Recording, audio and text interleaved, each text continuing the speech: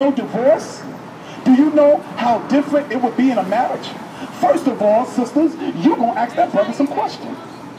You ain't going to just pop up and give me a ring. No, I need to know. What, what was the situation in your past? Why you ain't been paying your bills? Why you out of work? Hey, boy, you're 35 years old. Why you ain't got a car yet? See? Something's going to be asked. The brother's going to be like, hold up, my sister. Wait, wait, wait, wait. I got some questions for you before I give you this ring. Why you got three kids from two different men? Why you, you know, why are you still living over here? You know, why? Because of the fact that it is a dis discipline, it's discipleship. You've got to become accountable for your choices. That's what God is saying. What do you think made the Muslims so attractive in Malcolm X's day? Because Muslims were disciplined.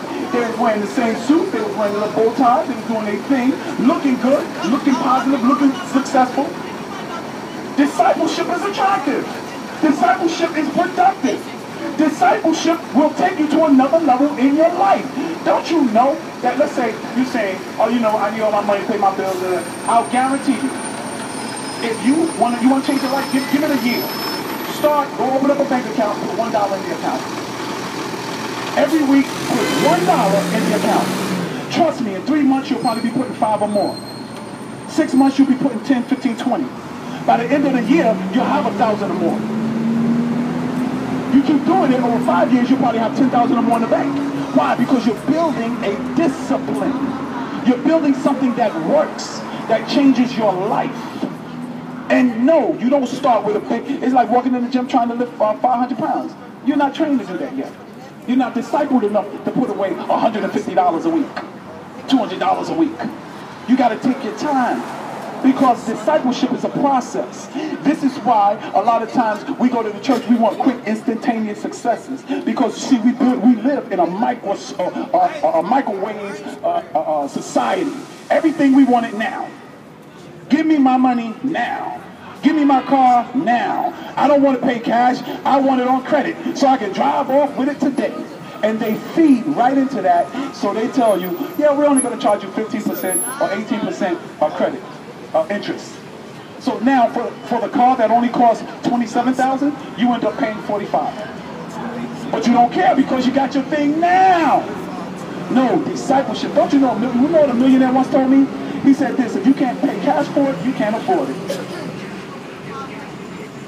See, they feed into that even with college students. Why do you think they're on, on the campuses saying, oh, why don't you apply for this card? Oh, yeah, you know, you're a college student, so you get this card for 3% interest, you know, now. You know, you get it going on like that. Yeah, but they ain't telling you in six months that rate's going to go up to 24%. Because undiscipled, when you see somebody walking around homeless and they're not mentally ill, it's, they're there because in one area or another, they were undisciplined discipline. You see a woman with five, six, seven kids from four or five different men? She's undisciplined. She ain't a hoe. She's undisciplined. She don't know how to control her urges. See, that's the deal. That's what God, that's what Jesus is trying to give us. Teach us how to be disciplined, that we might prosper even as our soul prospers. You want to change your life? Change your level of discipleship or discipline. I don't care if you don't feel comfortable wearing a tie. Wear it anyway. Because you're going to change how you see yourself. Yes, go, go get a suit and a white shirt. Not blue, not black, not lime green. Get a white shirt. Tie a tie.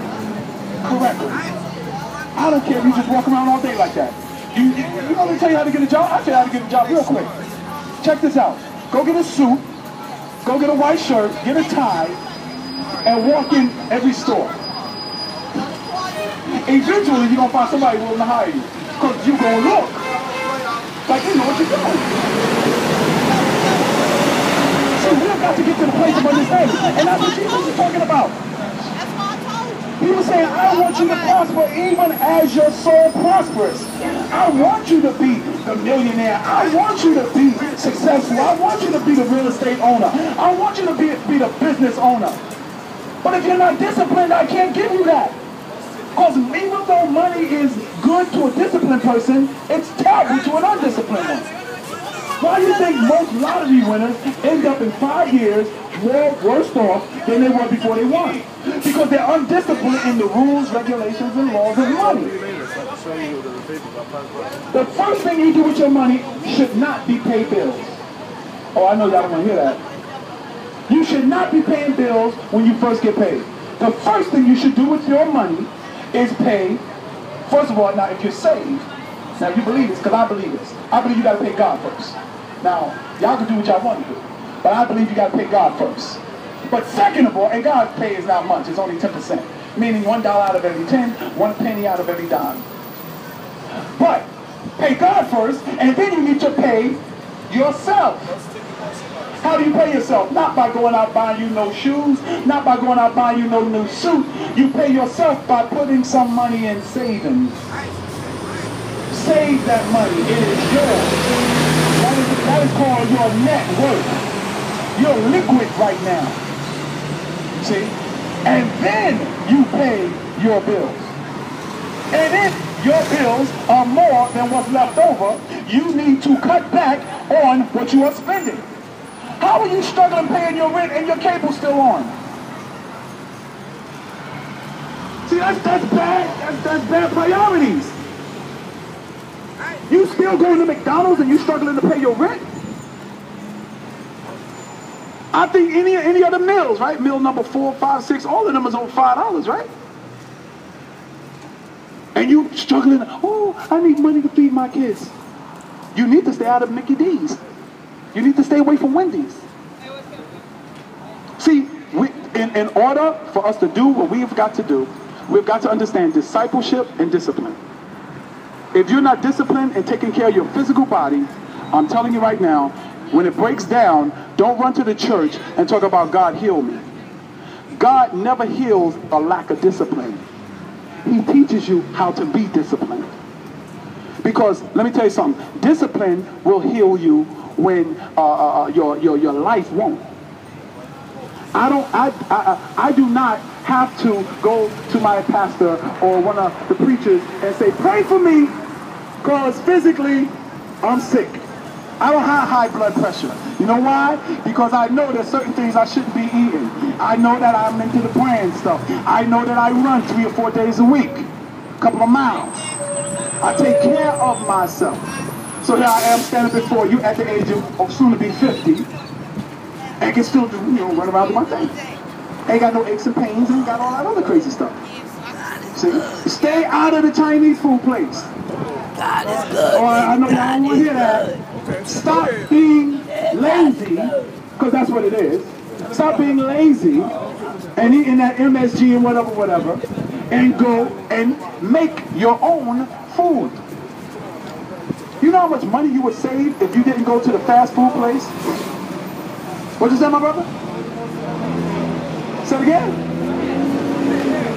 What if you want some Chinese food? Well, let me tell you something. My whole sermon today is about discipline. Discipline means you're not going to be subject unto what you want to do, but you're going to be subject unto what you need to do. Go ahead, go ahead, go ahead. I know, I know I'm whipping you right now. I know, I, I know, I know, I know the switch is out, but it's all right though. Because if you keep following what you want to do, see, I want to go sleep